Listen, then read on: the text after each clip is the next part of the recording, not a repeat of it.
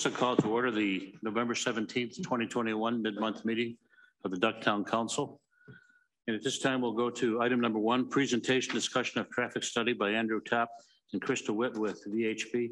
I'll start by turning this over to uh, Director of Community Development, Joe Heard. Joe?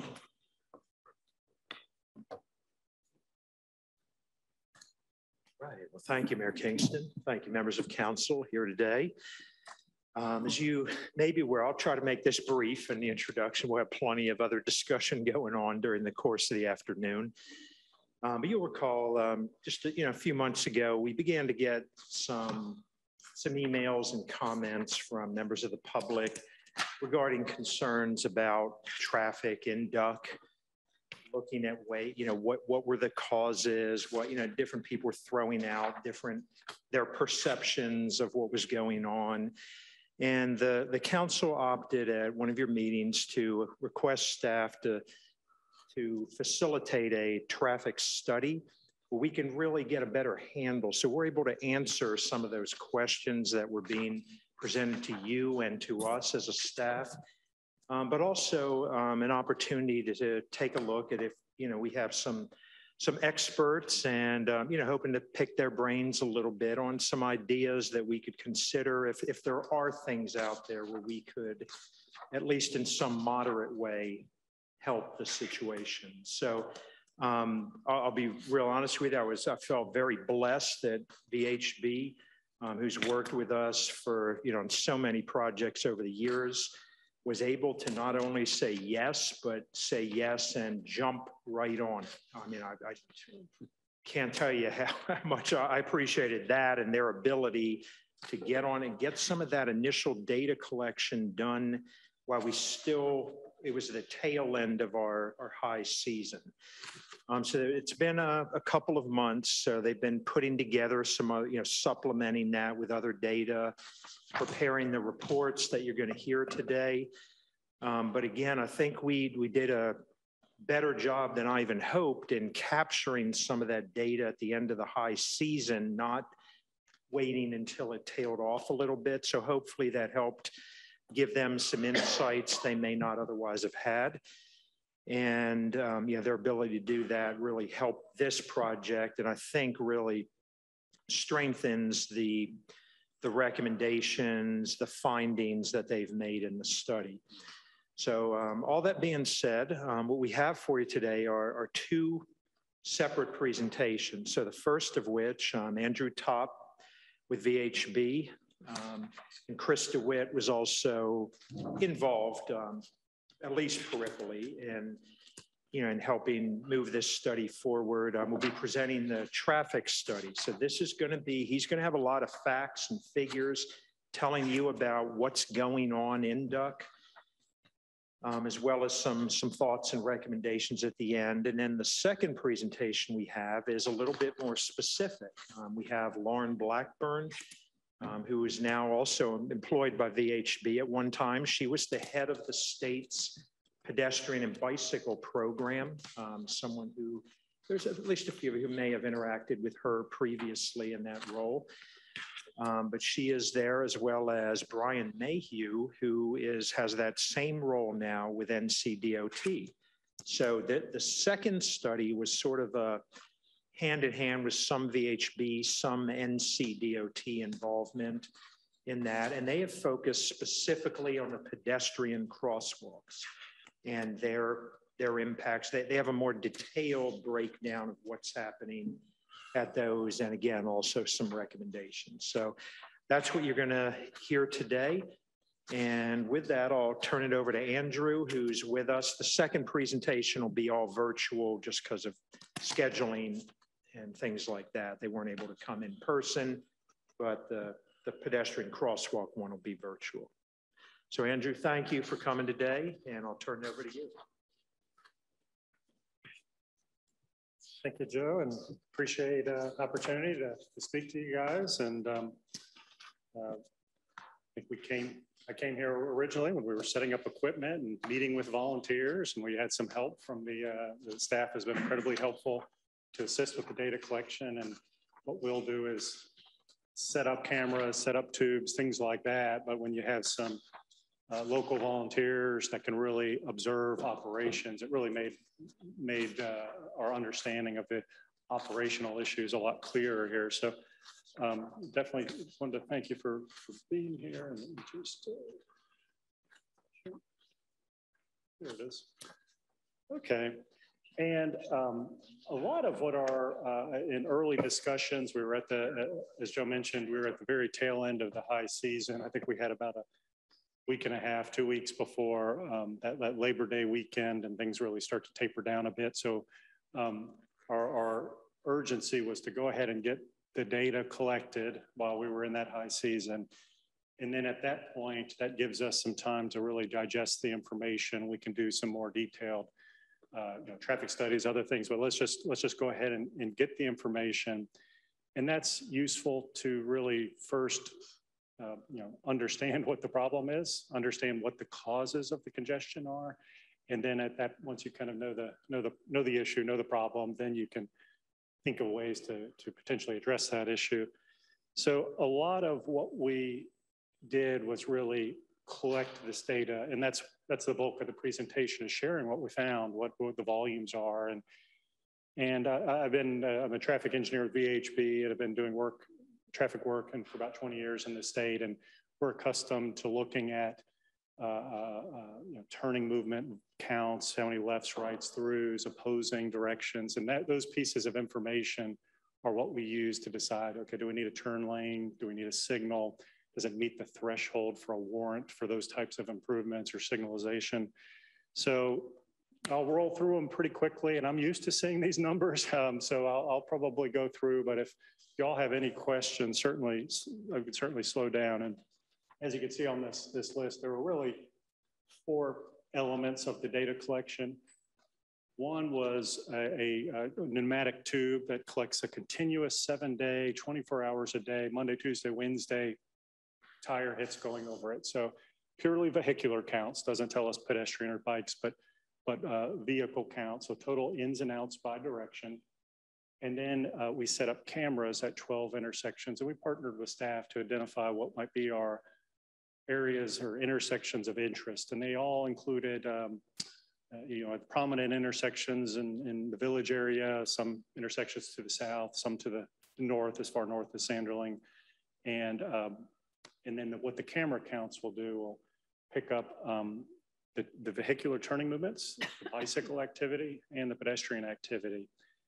And within that spring of 12 cameras, we set up five of them to do a, a Wi-Fi checkpoint where if a vehicle will go past one, it'll detect that Wi-Fi code from a cell phone or some kind of device.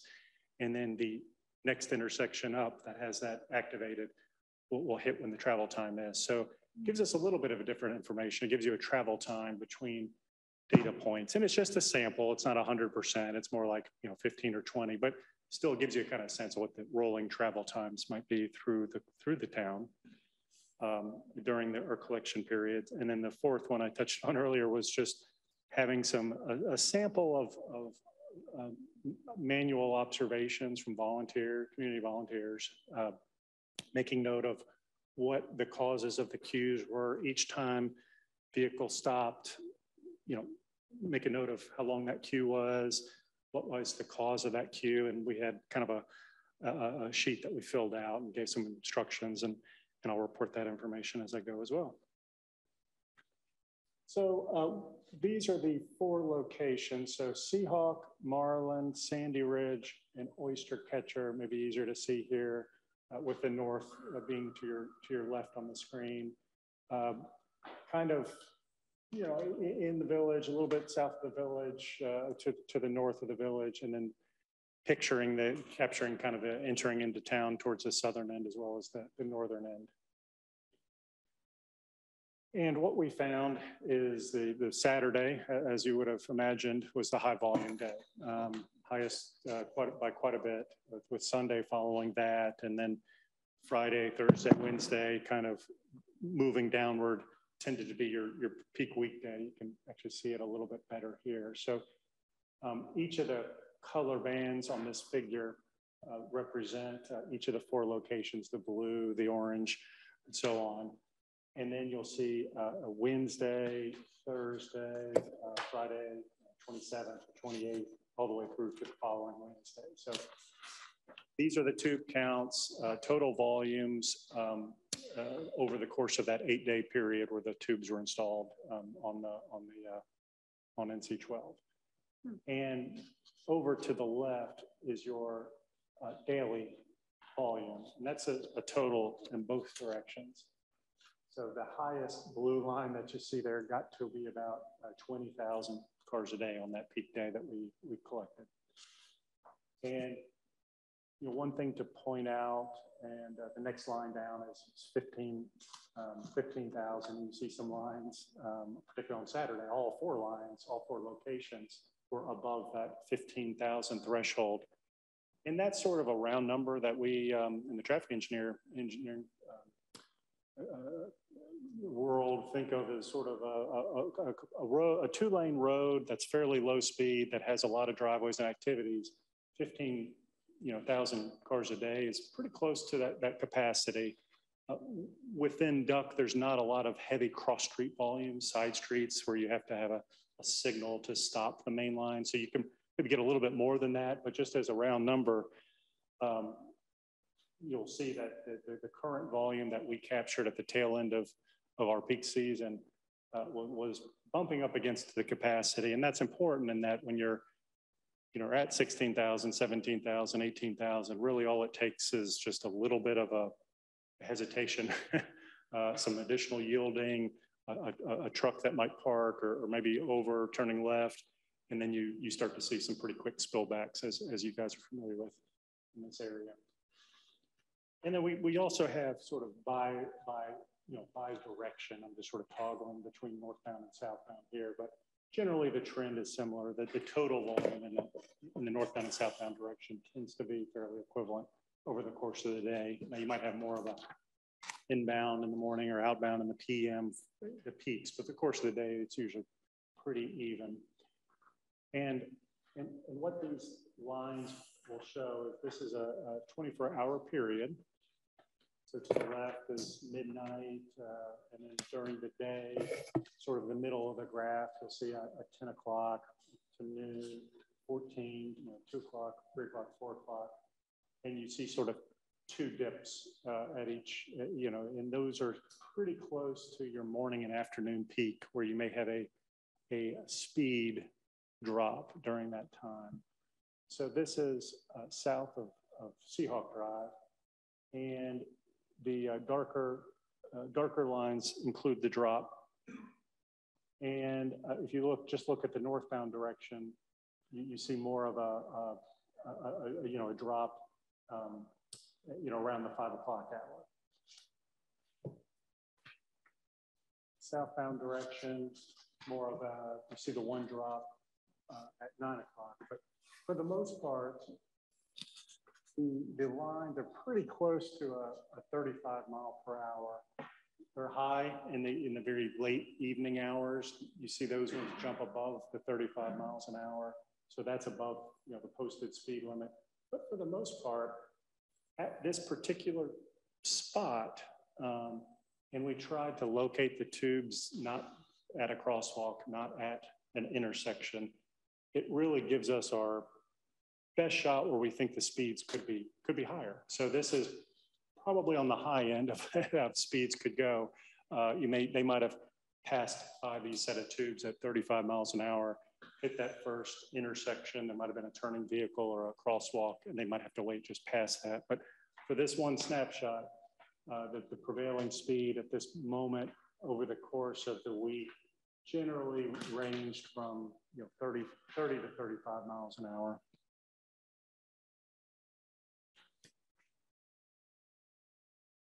Okay, and then just jumping into nor north of Marlin Drive, and this is getting kind of close into the to the village area.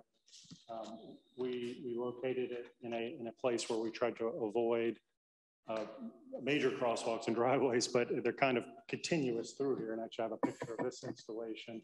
You, you may notice the, the line dropping off on the side, and that was one towards the very tail end of our cow that the tubes actually came loose. Um, And you can see it really just dropped on the, on the end of the Wednesday. And and actually, here they are right there. So you see how they're nice and tight uh, at the far end of the road uh, at a 24 inch spacing that we want, and then they got loose by the end. So this is how we found it at the end of the following week, but that'll explain in the, um, and we're looking at the, the southbound direction towards us and northbound would be away from us from this, where the picture perspective is. So um, the count still stayed pretty good on the uh, on the northbound direction, but but it, towards the tail end of the week, uh, you see the brown line at the bottom. It, it was not um, measured properly. But what this graph will show you, these two graphs show you, is that there's a lot more in-town variation in speeds. They're not consistent. They're not around the speed limit. Um, for the for the most part, um, you know, it's a 25 mile per hour zone, but uh, a good good bit of the, the traffic during the day is down to you know 25 below 25 so, so, so they certainly slow down through here. Um, and uh, you know, monday had a fairly low speed saturday had some of the lowest speeds as well. And that's of course largely due to that volume increase. Um, vehicles will slow down quite a bit uh, as the traffic volume increases so this is uh, north of, of, Sandy Ridge Road, and the yellow is the Saturday. You, you definitely see the, the, drop in that direction. And that's going into town from the north. Uh, northbound heading out of town was pretty consistent. It's pretty free flowing up there. You, you, get in, you're kind of leaving town, the speed sort of increased through there. Um, and it was, we found that you know, speeds were pretty consistent throughout the week uh, around the speed limit of 35. But again, looking just in the southbound direction, that yellow line Saturday, uh, there was definitely a drop for not even just a short period, but really for multiple hours. It was slow going into town, and that might indicate just a lot more congestion, a lot more activity. There's some maybe some crossing activity that creates a bit of a, a downstream uh, effect to the, at this location. Uh, and then north, north of uh, Oyster Catcher um, further, you know, that's well, well north of, of the village now, was uh, you see a bit of a dip on Saturday as well. So uh, with that, so those were giving us sort of a snapshot of what the speeds could be, just really right at our data collection point. This is the um, using the cameras, using the Wi-Fi to provide more of a, of a, of a travel time. Um, and Tuckahoe, Aqua, Cook, uh, Widgeon Drive, and Sanderling were, were, the intersections where we had that setting uh, turned on. Kind of a snapshot of how those are spread. Tuckahoe in the south end, all the way up. And this is uh, a table that, that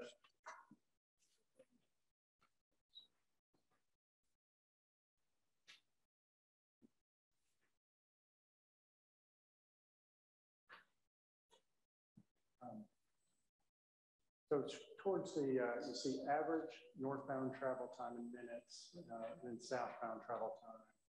Um, and then you have uh, it in miles per hour, as well as a 85th percentile, which is kind of a high end speed. That's a, a number that's, that's traffic engineers tend to use to, um, that, that is helpful with setting speed limits and so forth. And I'll point out from the Sanderling, which is the full basically the full drive through town on the Wednesday that we collected. Uh, northbound, the average uh, mile per hour um, was about was about 30, uh, and then southbound was, was, slightly less than 30 miles an hour. And that uh, on Saturday, the 30 dropped to uh, uh, 28, and then the southbound dropped to 25.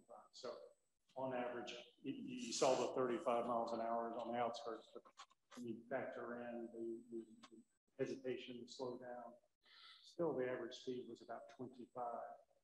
Now on Saturday, uh, those are the last two columns to the right, a couple numbers down, the, nor the average northbound speed was uh, about 21 miles an hour. Southbound was about 18 now. And when you, um, uh, and then you, you, you- take it, or I'm sorry, the, um, the last two columns are, are really just in through the village area. So it's just, let me just uh, double check that. So between number two and number three, just Aqua to Cook Drive. So that's a distance of about 0.7, so less than a mile. Your average speed through that stretch was um, 20 miles an hour, 17. You know, on Saturday, from 21 to 16. So you may end up with an average speed at about of about 25 at one spot here or there, but when you take into account the average speed through that whole stretch, it's it's 16 miles an hour uh, on, on that Saturday that we collected. And we we did not um, see in the data a major. You guys have you probably all think of times where there really has been a complete gridlock where no cars are. You know, there's something happened to the road. There was an accident, and and it really this was, we felt like was probably just regular, typical Saturday activity. You know, there might have been some, some truck activity, some other things that would be pretty, pretty common. But again, uh, average travel time, the low hit to about uh, 16 miles an hour. And what these charts will show, just to, just to explain, is as the color kind of orangish line represents um, each individual trip of a certain time period. So where you see the, a lot of uh, uh, lines where there's a bit of a, a curve there, 10, 10 to 11 minutes tends to be a common uh, trip time. So you would see the bulk of the trips tend to be in that 10 to 11 minute, looking at the southbound uh, similar uh, in the northbound direction. And then the lines as you go to the right, up to the uh, to the 13 minute mark, the 20 minute mark, even up to 20, 25 minutes. Those would be. Yes. Sorry.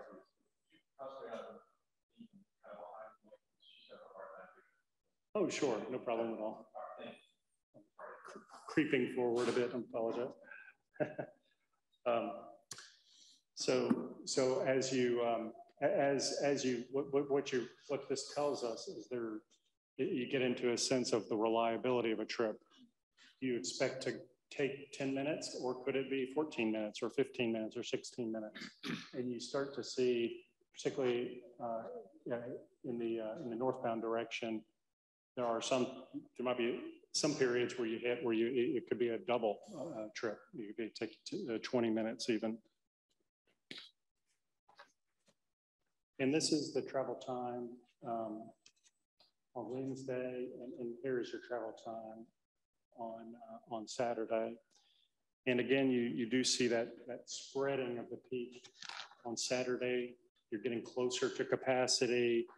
Uh, you might have a time where you might cruise right through and it, it's smooth sailing. Other times, stopping at, at, at, at multiple intersections in town. Um, due to any number of reasons, pedestrian activity, vehicle activity. So in the northbound direction, much more scattered. Southbound, we, we saw to be a little bit more consistent. And these are um, the, the, the, processing company that we use um, uh, is Miovision, and they, they send us these kind of pre-recorded maps. So we couldn't kind of keep the y-axis and the and x-axis the exact same to really compare apples to apples. But but you do see some 20 minutes over on the southbound direction. So um, something, or 40 minutes even. So a 10 minute trip could be a 20 minute trip, 30 minute trip, 40 minute trip. And then this is uh, Aqua to Cook Drive. So this is that 0.7 mile, less than a mile uh, trip. And you still see wide variety, uh, um, in fairly inconsistent uh, uh, trips tend to be on that, that, that, that high side, of course. And, um, and probably a little more in the, in the northbound direction, a little more variability. Saturday, similar situation for the this more shorter trip. Um, more spread, more variability between between uh, these two checkpoints.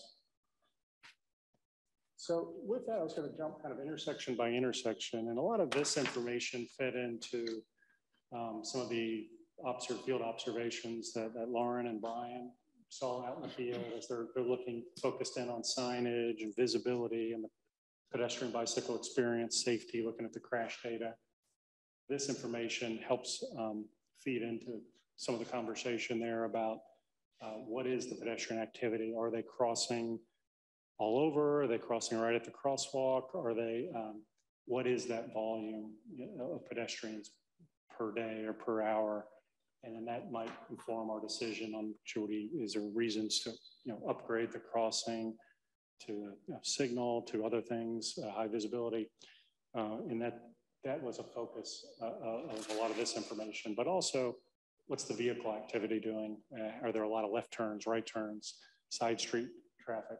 Andrew, just one quick question. Yes. Was the weather consistent all week long? Yeah, good. So there were no events? Great, great question. Pr- Pretty, pretty, pretty uh, good weather all the way through. Uh, I think there was a little bit of a uh, minor, you know, rain activity on, you know, during the week, but, but pretty clear, pretty nice, beautiful weather. But that is a good question because that, that definitely has an impact on, on speeds and, and um, travel time. And Andrew, do you know what the capacity in Kerala was? Uh, in terms of like the occupancy of, Mhm. uh, I don't know that, but I, I think from information that we've received throughout peak season, it's been quite high. Um, this would be before that, uh, uh, the, the shoulder season sort of, sort of begins. So I would, I would imagine it'd be quite high. Question, question on, on, on the, um, uh, unless you were still talking about that question, I didn't mean to interrupt No, you. no, go ahead. Um, when you're talking about the intersection turning this, this area, are these actual crosswalks or actual intersections or both? Good question. Good question. Um, I will kind of, event- we'll go through kind of each one and you could see exactly what's at each one. But it, in all of these cases, it was an intersection and a crosswalk. Okay, thank you. Uh, Sometimes it was not uh, at, a, at, at a public intersection. It may, just be a, a driveway or, Oh, or something along those lines, um, like the Methodist Church driveway or you know, the Aqua driveway or some of the intersections. Got it. Um, uh, But again, we, Wednesday, um, uh, the- the- we ran the, the cameras from Wednesday to, um, uh, to the following Wednesday. So we do have a seven, eight day period, but we really only processed what we thought would be a good representative weekend and weekday day. So we- it was still the Wednesday before and then the following Saturday are the two um, data collection periods. We do have the video from the whole thing, though, if we need to go back and look at anything, process more information later. And uh, this may be a little bit tough to read for you guys on the screen, but if you have the, the printouts, what this is, is just a, a list of the, the intersections from, from Tuckahoe on the south end all the way down to, to uh, Sanderling at the northern end of town. And your maximum crossing uh, leg. So that's typically, typically there'd be one crosswalk at an intersection and that would be the, the leg that would have, you know, your maximum pedestrian volume. And you'll see sort of as you kind of move down that first column that you see, Tuckahoe, um, you know, 100, 100 pedestrians were crossed during that 12 hour period, 7 to 7 a.m. to p.m. And it really peaks at the Scarborough Lane driveway, and that's where the farmer's daughter is as well. Uh, over a, a thousand pedestrians crossed at that location.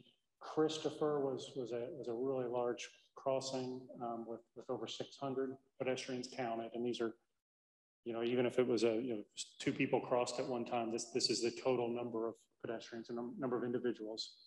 Uh, and then as you get to the edges of town, less crossing activity, as, as you imagine. Um, uh, Sanderling Resort at, at fairly low at the very northern end, Widgeon had very, very little uh, crossing activity.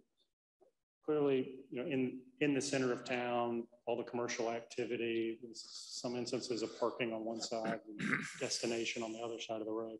A lot more, lot more natural pedestrian crossing activities, and of course, a lot of wider part of the island with some homes and uh, just um, pl- plenty of destinations there. Okay, and then um, the next column over would be that pedestrian crossing that's walking parallel to NC twelve, so that's crossing the, the minor street. So we think of that, that, that path, the greenway on the, on the east side of the road through most of Duck. That tended to be the, the approach on the side that had the highest volume. And you, that number is pretty consistent all through town, um, consistently high, I should say. Uh, the peak there is at, at Scarborough Lane as well, with over a thousand pedestrians that are just going parallel to, to NC twelve. And, and you see, um, you see 900, 700, 700, 600. You know, hu- these are really large numbers, um, for, for, uh, you know, smaller community. Just, just really remarkable, um, how many, how much pedestrian activity, which is certainly a, a- good thing. And, um, on Saturday, the, the actual pedestrian activity is, is quite a bit lower. I think there's a lot of rentals, people coming in, coming out, um, uh, those types of things, those transitions are happening. Um, we have higher volume activity. It's busy, uh, in terms of the vehicle traffic, but there's actually less pedestrian activity that we can pick up on our, in our cameras. Uh, but, but certainly still, still quite, quite, quite busy. All right, and then just a, a snapshot of when we trained our volunteers and um, we, we said, you know, make a note of each time there's, there's a, a stoppage, a queue. And, and it, there, we, we put as a, in, on their field sheet, what we thought were pretty common reasons why traffic would be stopped. Um, sometimes it's, it's, it's spilled back from something downstream, something around the corner. It just spills back into your hundred foot area that you're paying attention to. Uh, that would be our you know, complete gridlock or a spillback issue. Um, you know, pedestrians crossing was, was the other very common, common one there. Sometimes it's a, a left turning vehicle, particularly when you don't have the center left turn lane. Of course, one left turning vehicle waiting for a gap in traffic would create a, a queue, a stop queue. Could be a right turning vehicle, could be parking maneuvers, uh, yielding to to bicyclists, um, other, we had sort of other catch-all category as well. And then those, we had a 90-minute period uh, on Wednesday from 11 to 12:30, so middle of the day where we expected a lot of pedestrian activity. And then on, on Saturday, similar, you know, middle of the day, 12:30 to 2 o'clock was, was our observation period. And these are volunteers, so they were, uh, you know, had a, had a clipboard and, and they were out there um, you know, so it's, it, sometimes you may have a, a different observer at, at, Wednesday or Saturday, but generally it was the same person. Um, and and th what this uh, chart will, will tell you, we kind of go from intersection one to 12, so Tuckahoe working our way north. And, and to the, the upper right tells you the pedestrian activity crossing each of the four legs. We just keep NC 12 kind of your, your north-south um, vertical line there. And uh, for example, in that upper right, you have a zero where there's no pedestrians counted crossing the northern leg towards where the tennis courts are in the area, but you did have 113 on the southern leg towards, towards the, the pool. And then on the west leg, walking, uh, only seven pedestrians. However, on the right, uh, where you do have that, that path, the extra crosswalk, 500. And, um, and then down the, the below box is, is Saturday. So it's Wednesday pedestrians and then Saturday pedestrians. And then over to the lower left is, is your bicycle activity on the road. And they're prominent, mostly just going, you know, through at that point. But, you know, there are nice uh, bike lanes in, in place and uh, you know, shoulder areas that are um, they're used uh, by cyclists. So you pay attention to that lower left for the bicycle activity. And in the upper left is, is our um, vehicular count. So this would be uh, individual turning movements going straight, left through straight from each of the different directions at these intersections. And the first number that you see is your, your AM peak. And then in parentheses is your PM peak. And then that would be, uh, and then the last number that's underlined would be a Saturday peak. And that's the, the peak hour period. So that would be um, at, at, at, uh, at your afternoon would be probably around four o'clock to five o'clock. Your morning peak, you know, in most you know, urban areas, it might be from seven, seven to eight or seven thirty to eight thirty. Here it's later. It's beach community, so it's probably more like eleven o'clock, ten o'clock. Um, and then Saturday is certainly right there in the middle of the day for the most part. But this is your highest vehicle hour uh, during the day. And at this particular location, you see fairly low side street activity um, from vehicles turning from Tuckahoe uh, Drive. Your left turn volume of less than 10, uh, uh, right turn volume of you know, 10 or below as well, and then fairly low volumes. So it's really all, all traffic really just going through this intersection, and that's fairly common. And then the last piece is that box in the middle. So these are what our, our observers noted. And during that 90 minute Wednesday period, the 90 minute Saturday period, uh, they counted the number of times there was a queue. And in this instance, there were 31 queues counted by our observers uh, that were due to yielding to pedestrian activity. In 11, uh, were yielding to a left turn vehicle, left turning vehicle. And this is a, a, case where there is no left turn lane. So uh, most likely the, the, left turning vehicle is waiting for a gap in traffic and then went. And then, you know, then a, a short queue um, occurred as a result. So right here at this end, not too much queuing activity, um, roughly, roughly 52, and there might have been one or two in some of the other categories, but these were the two prominent um, reasons for the congestion. And then making our way uh, up to, to Plover Drive. This was an instance where, um, looking at that box to the lower center there, um, very pretty much no queues uh, due to pedestrians. And then, of course, you look at the, the graphs to the right, there's very little crossing activity. This, this might be the one spot where there isn't a crosswalk across NC12, but there is one parallel to it. And that's where all your pedestrians are, 700 at Wednesday, 450 are using that long crosswalk at this location. But, uh, but here the congestion is not due to, to vehicles yielding pedestrians. It's really all left turning traffic or 45 that was just downstream congestion. So this would be something happening to the north that would create a, a spill back in the northbound um, direction that spill back into this intersection. Mm -hmm. So 45 queues were noted due to that.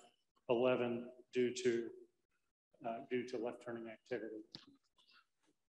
Moving up to the aqua driveway, and that's where you, you, know, you have the speed um, detection there and it's telling drivers to really slow down to, to, to the, the uh, 25 mile per hour zone. At this location, um, I, the, the volunteers observed here was um, on the Saturday, northbound direction. 16 queues due to just downstream congestion from the village kind of making its way in. 15 due to left turning activity, 11 due to pedestrian activity. Uh, and in the southbound direction, it was um, more of the pedestrian, fewer queues, but more on the pedestrian activity. And on Wednesday, um, uh, less kind of left turn and spillback, but it was more of the, the queues associated with pedestrians. So as we kind of move into the areas, into the village, you see a lot more um, you know, queues associated with, with cross, crosswalks and crossings as, as we'd expect, but certainly not, uh, certainly not all. A lot of the times it, it is due to vehicles turning left in or out. And uh, if you look at the, the cross, the pedestrian graph to the right, you see 16 cross north of the intersection, north of the yellow dot, and uh, 627 cross uh, at the uh, at the actually crosswalk itself. And that pattern is very, very consistent where it's not a case of pedestrians just cross everywhere. They, they really do gravitate towards the, the crosswalks. And I think a lot of the treatments y'all put in over the years have, have helped point pedestrians to where they should cross. And that's a good signal to drivers to, to expect that pedestrian activity. There could be a pedestrian walking through there and and Lauren and Brian will, will touch on sort of the yield compliance and what, what they observed as well. Are, are drivers really truly yielding to pedestrians or, or not? Uh, fair- Could I Yes. ask a quick question? Sorry, I- Yes. and it may be not appropriate here, but this is the first time, as we're looking at this data on the, on, as we're heading north, that you have an actual turning lane. So wouldn't it, would, does that, um, you know, they have a mid lane where they can turn off of. So does that, that helps with the lefts too, I would imagine? Yes, that's a good Because the point. other areas don't have the left opening, I don't think. Yes, that, that, that, that is a good point. Um, You know, and, and actually just, uh, just, just coming in here today, um, I was in the left turn lane and I was, had my turn signal on and the car was opposing and they- they, hesitated, and they sort of waved me in. There's, there's a lot of sort of courtesy gaps and, and that was a cue caused by a left turn, um, even though there is a left turn lane. So I, I, I think you do see that a little bit, and sometimes there might be spillback where um, even if there is a, um, a left turn lane, people will just stop. You know, we're not going that far fast anyway. Yeah, Just go you go ahead ahead. and clear out. We're going to just jump to the queue that's already in front of us. Doesn't really affect a person's travel time any. Um, but that is a good good observation. And um, the, the the the the on the vehicle side, when you start to see, um, you know, probably 30 right turns off, off the main line, that, that's probably among our higher right, right turn volume. You know, if you have 50, 75, 100, and it's congested, you know, those are ones where you start thinking about maybe we need a right turn lane to get a, uh, to get those cars off into their own space, and that would allow another car behind it to proceed here, you know, there's such tight right away, there's parking and there's not room for that. There's some downside, there's some negatives to it that we'll talk about later in terms of, you know, bicycles and, and crossing distances and things, but uh, fairly low turning volumes at this location as well. Okay, so this is uh, Scarborough um, Shopping Center.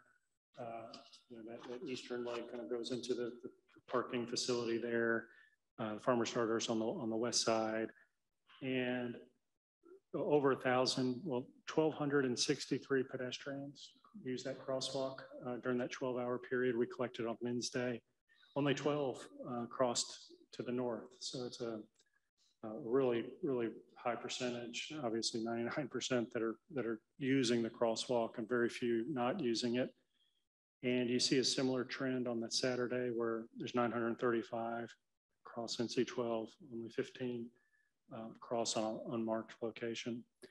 And walking on either side, up and down, parallel to NC 12, uh, 1,000 on the west side, 1,000 on the east side on Wednesday, and you know 900 and you know six, six, 700 on the east side. So just constant stream, pretty steady stream of pedestrians. Um, right here in the in the in the core, probably really the center of, of a lot of your commercial district and and uh, lots of destinations, lots of parking, and I think I think business community um, expects that somebody might park in a parking lot and maybe walk over to that one and then maybe go to that business and then you know I, I think there's a lot of people that will um, you know live here but also visit and and really just explore all the various destinations that you have in the village.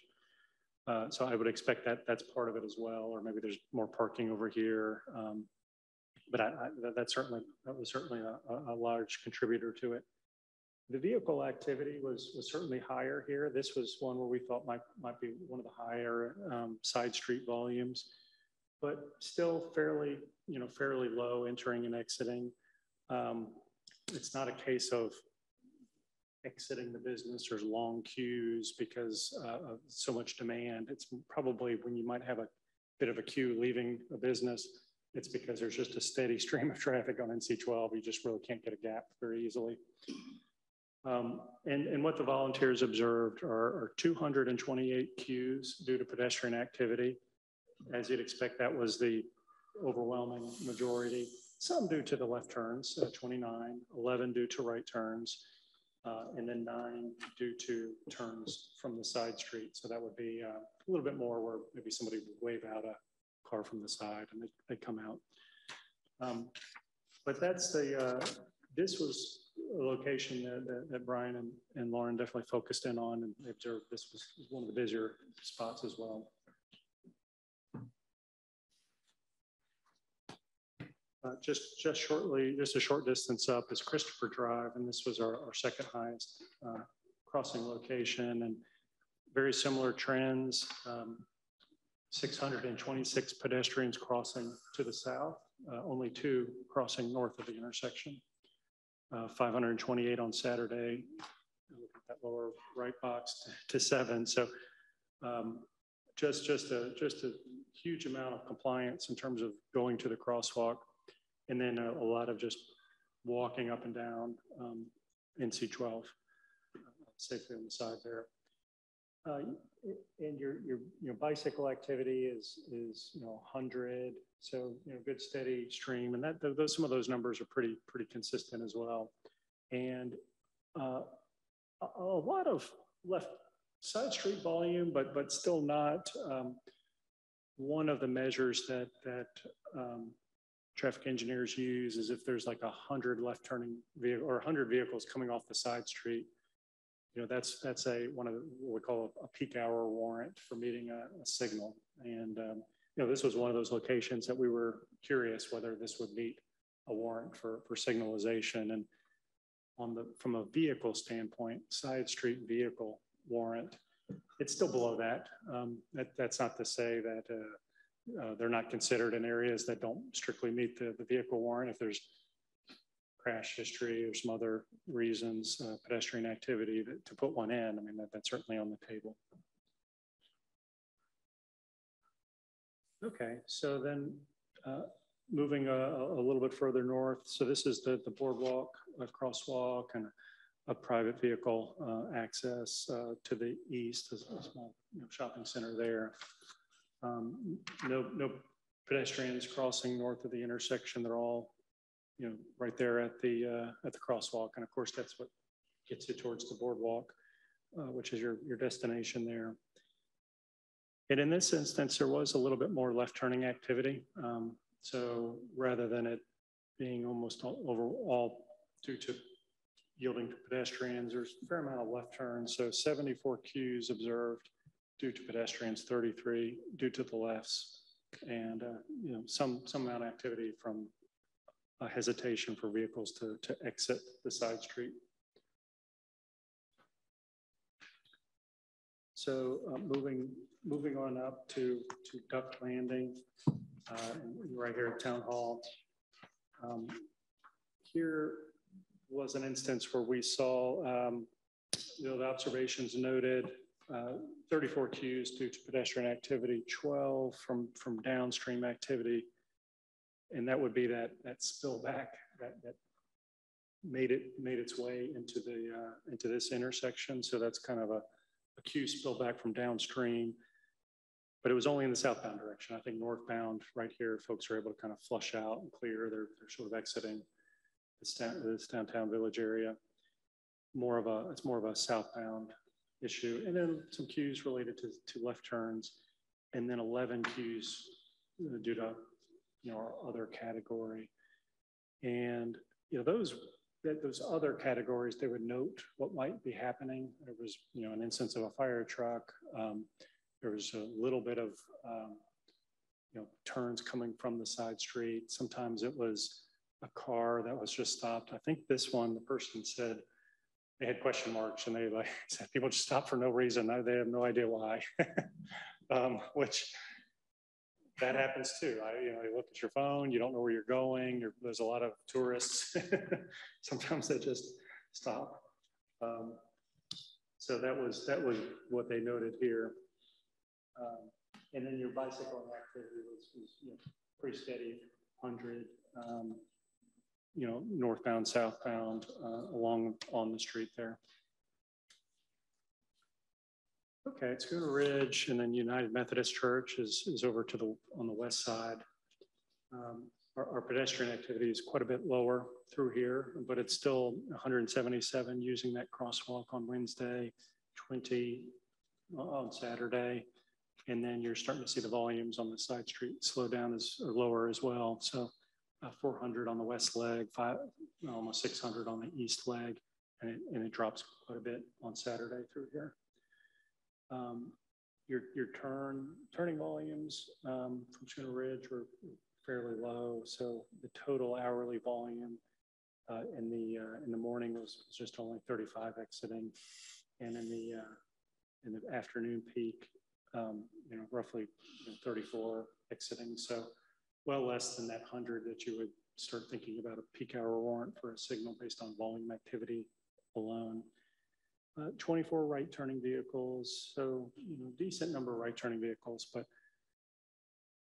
you know, things like right turn lanes, um, you know, really the, the, the yielding, they, they, they typically can, can turn into a, uh, into a driveway or an intersection without too much hesitation. Where you might see some issues is if there's a parking space that's like right there, just inside an intersection, maybe somebody's backing up, then you see us go back into the, into the, um, into the street. And we, we really try to keep that internal stem protected that, that for driveways so that vehicles can kind of get off the public street so they don't create congestion, potential for a rear end crash.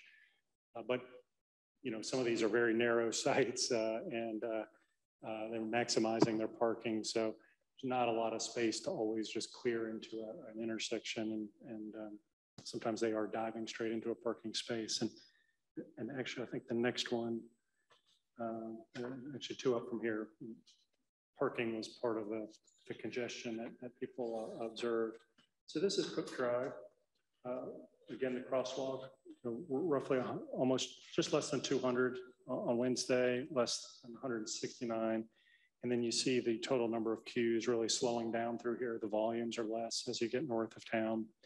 31 due to pedestrians, 12 due to uh, downstream congestion. That was something that was happening around the corner.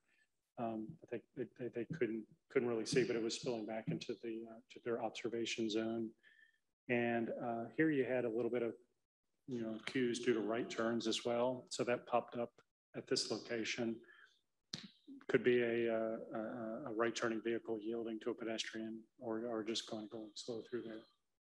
Creates a bit of a, a stopped queue side street volumes, you know, 20, 30, um, fairly low turning out. And, and you still have your left turn lane through here, but lefts in off the major aren't very, aren't very high. Okay, so now we're, we're, we're, we're just getting kind of north of town at, at, at, Sunset Grill, and they have the parking lot on the on the east side, the restaurant up against the water on the west side. And here's where you had 12 queues due to pedestrian activity. And I remember um, you know, one of the one of the observers, it was like a Sysco truck bringing, you know, bringing uh, material, uh, food to the uh, to the site, and it kind of created some congestion there. Um, some of it was just slowly parking. One was uh, somebody dropping off at the restaurant, you know, and then creates a bit of a queue. So just a lot of that's where we get into sort of solutions to improve traffic that are in that category of managing traffic, or if there's ways that um, businesses can load, unload, you know, off the road on their property, have designated spaces as you're, um, you know, reviewing site plans and development plans that they can clear the road. um, that definitely helps traffic flow a little, little bit smoother through. But, um, but also a lot of, uh, rather than it, pedestrians really being the dominant source, um, although still a high number, you know, 18 were due to left turning activities. Typically, uh, in the northbound direction. So probably a southbound left turn where there isn't a turn lane now. Moving, uh, there's two more intersections left, so 11 and 12. So Widgeon Drive, very little pedestrian activity across. Uh, there's just really a couple of homes on the west side, so not not the, not the logical uh, high pedestrian destinations. Um, and you do have some users of the uh, of the side path there about 452, and uh, uh, in the on Saturday 285. So, um, you know, the, the, the, total activity is down a little bit, but whatever is out there tends to be just moving parallel to NC12. Uh, your pedestrian activity or your bicycle activity has definitely dropped out, uh, dropped off quite a bit up here. um, just, just more, you know, 17, 15, um, you know, less than 30 over the course of that, that 12-hour period of- that we observed.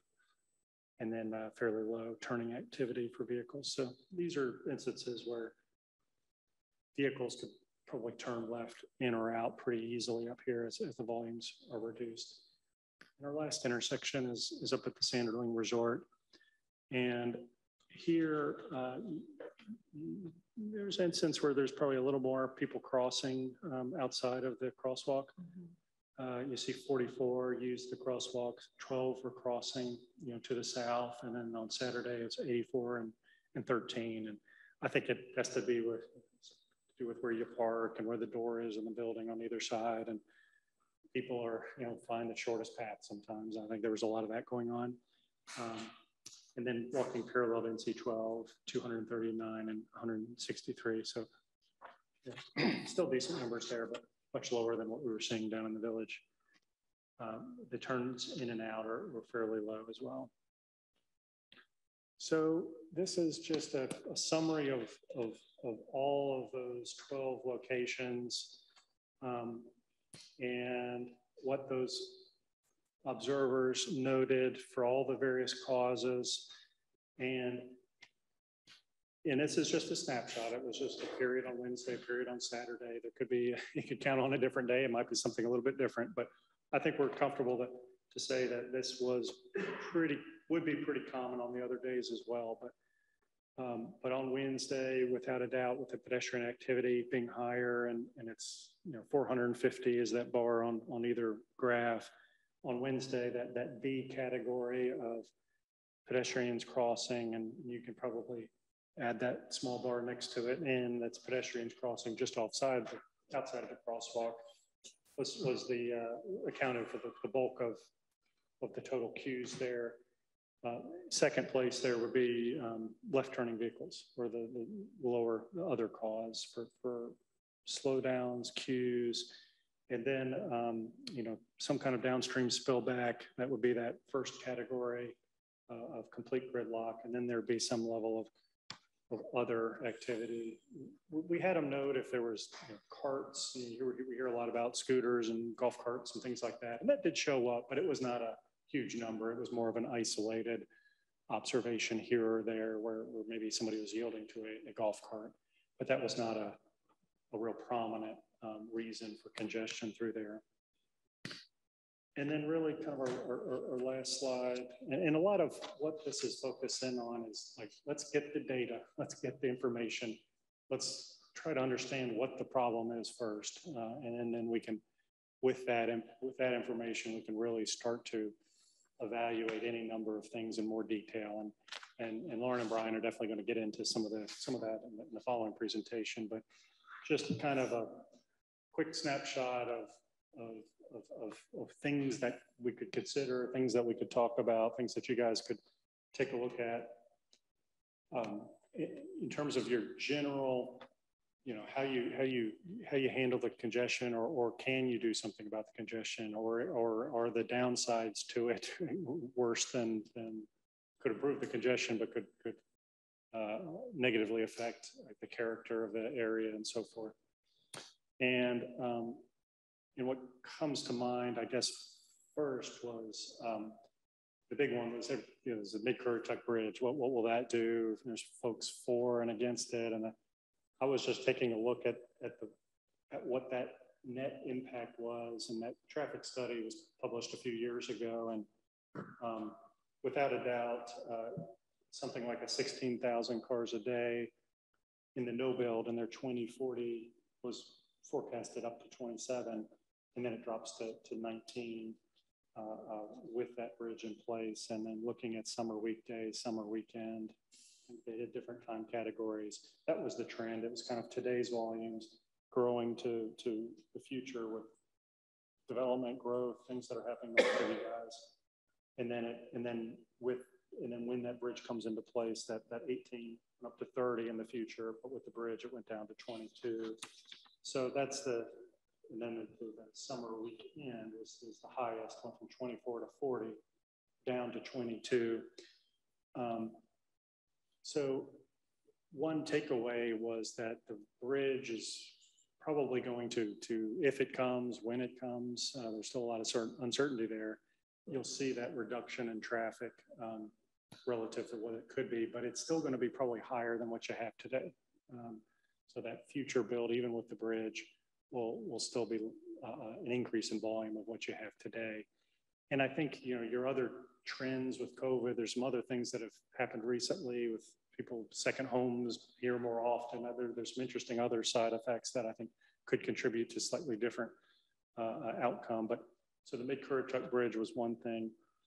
One thing that we, you know, just just I've mentioned it before. You know, things like turn lanes. I don't I don't think there's a lot of interest in in adding pavement, adding lane, adding a say a, an extra southbound through lane, extra northbound through lane. Certainly affects the character of the town. Um, those, but those would be traditional traffic recommendations. Um, so signalized pedestrian crossings at, at, at major locations. That's something that that, um, that that that Lauren will talk about. There's some advantages, disadvantages. Uh, it's not a necessarily a fix to traffic. Um, uh, it could clump the pedestrians into more of a group to then cross them all at one time. So like a platoon of pedestrians. So then you could flush out the through traffic. But at the same time, we, as we talked about it, uh, you know, there's a it's probably a marginal impact, but you could end up with more pedestrians crossing at different locations. you could, they could, uh, they could ignore the signal and just cross. Um, we didn't feel like that would be a, you know, certainly not a silver bullet, but it, it would have some some benefit. But there's some advantages and disadvantages of that one. And each location has slightly different volumes and characteristics, but that could also be modeled as well. Um, and then, you know, well, what about removing removing crosswalks? And, and I think, you know, removing crosswalks, the you don't remove the pedestrian demand. The demand is there, and they're going to cross. And I think we're of the mindset that you'd want to make it visible to pedestrians, make sure people can see it, make sure every the, the visibility of both the driver and pedestrian is clear. Um, and, um, you know, or, or there's the, the notion of adding, you know, maybe we need to add um, crosswalks.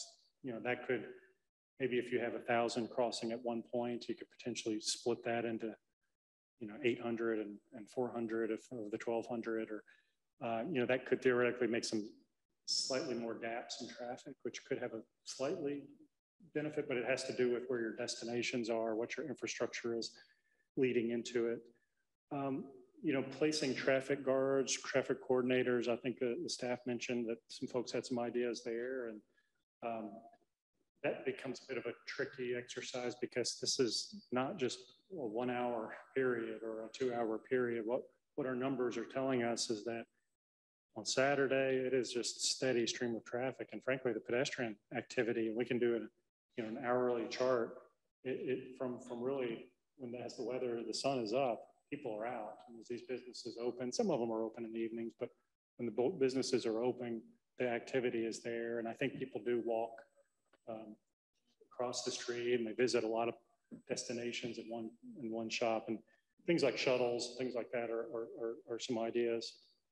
Um, improving local connectivity with parallel to NC12. That's just, just to throw out options. I mean, that's another one that we had to add to the list, but most of our parallel perpendicular streets to NC12 are, you know, they're residential, they, they dead end. It's just, that's the common style here. If you were to connect a few of them, maybe you get a few more people choosing to to take other routes, but then you may introduce you know, cut through traffic, people avoiding congestion, zooming through neighborhood. So there's certainly downsides. Um, uh, Southern Shores, others that do have more parallel routes to NC12 have felt some negative negative effects of, of that type of cross section.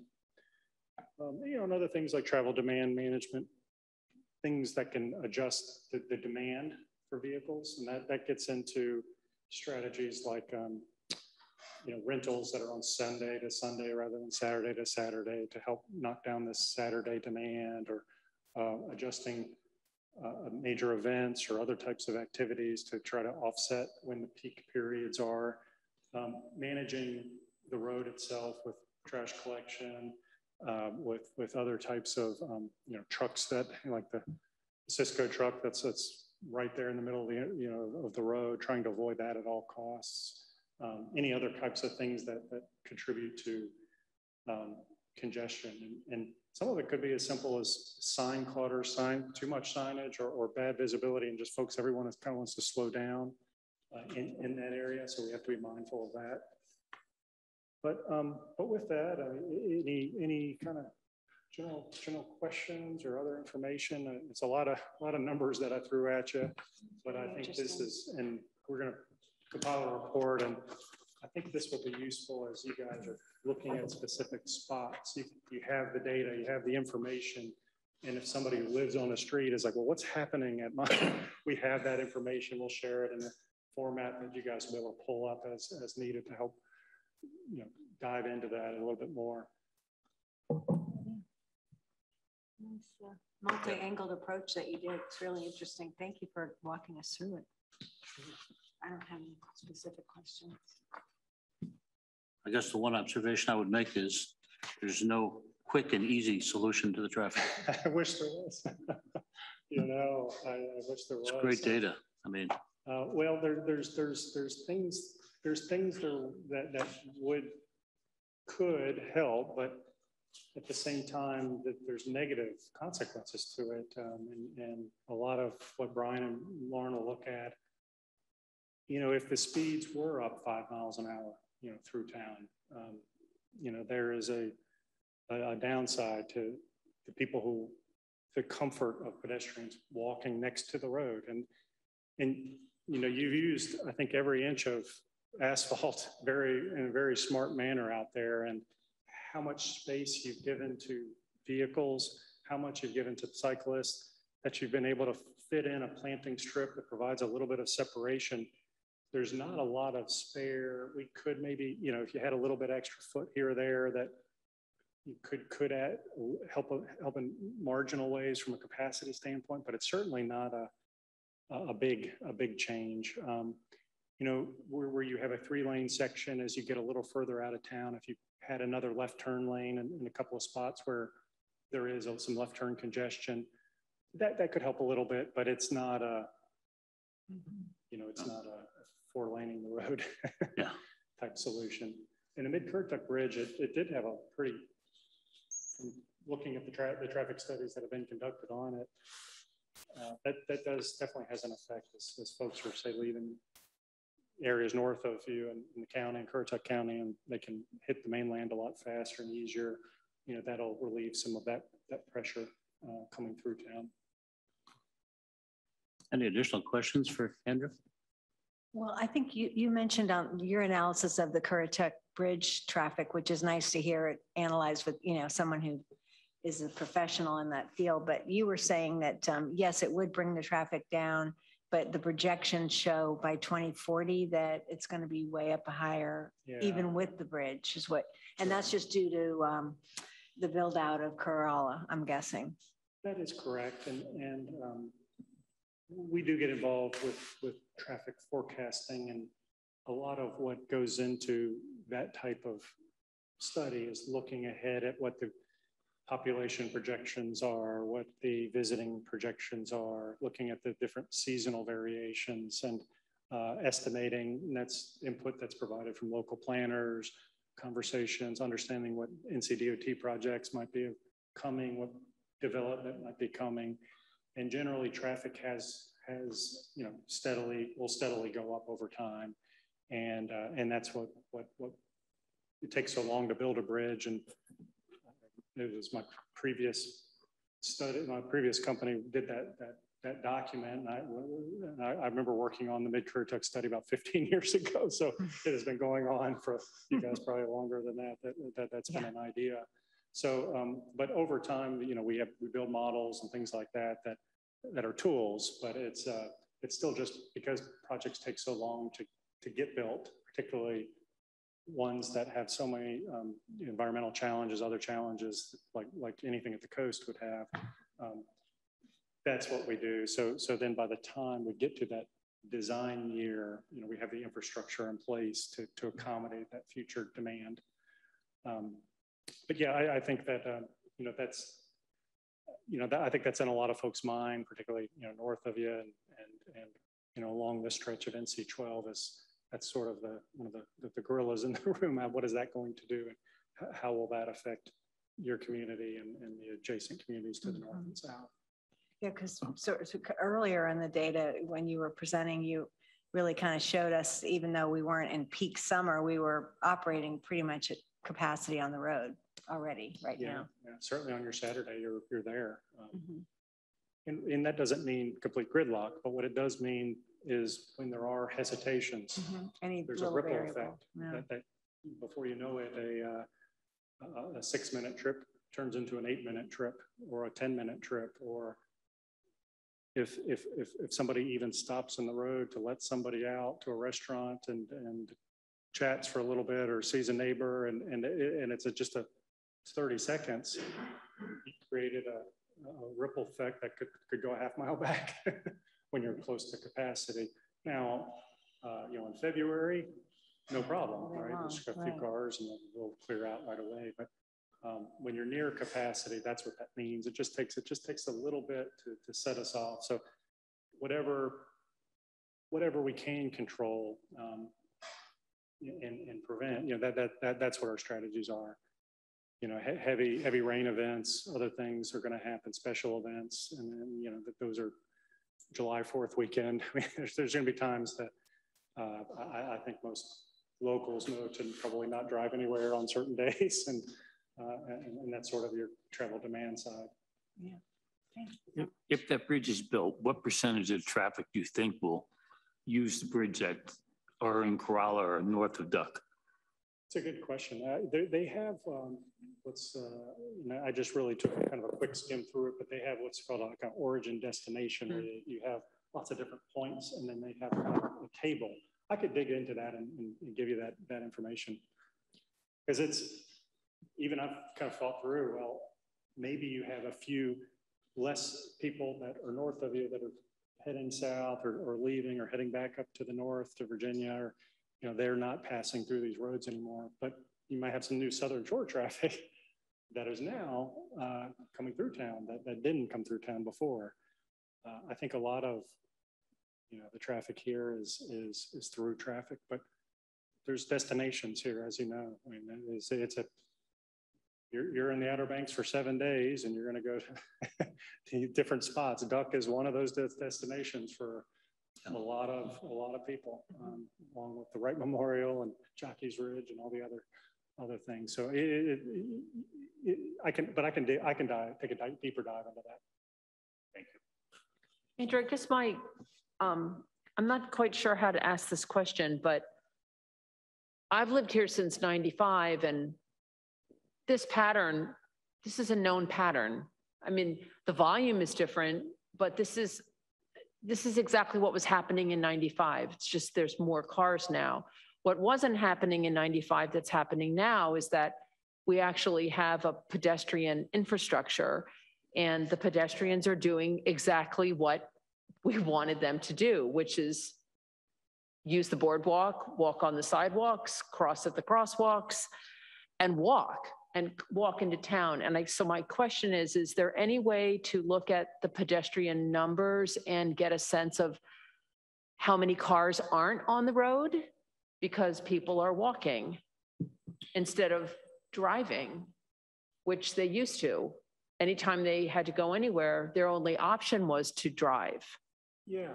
Because they had to, well, I, re- you remember, Monica, I mean, you had to walk in the shoulder if there even was one. And um, it was, it was really unsafe.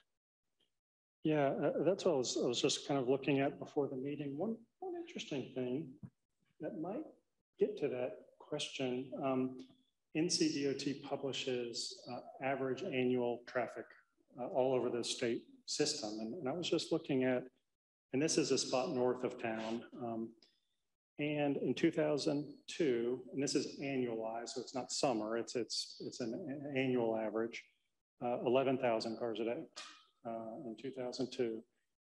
2003, 11,000, 2004, 11,000, it dipped to 9,900. Um, So from 2002 to 2007, it was pretty consistently 11,000. And then at- in '08, down to 95, Mhm.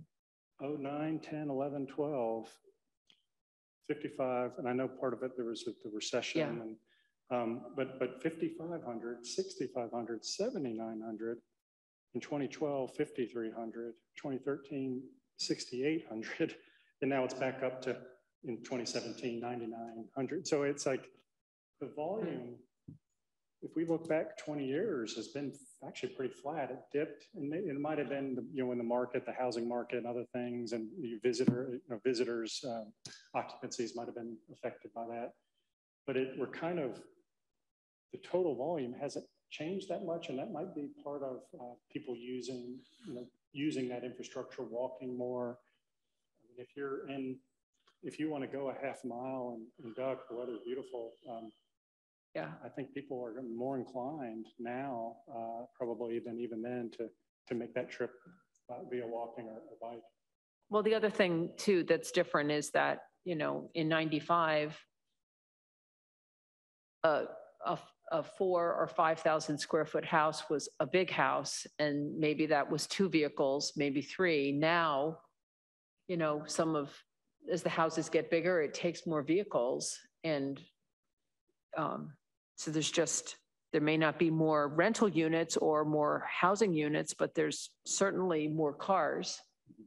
So, Yeah, yeah, I do think there might be um, a little bit into the, uh, you know, how, how the rental, how that, that- that, market has changed, but, but um, I do think you see more you know, second homes that are actually occupied more often Mhm. uh, during the year. and That, that could add up in your off-peak periods.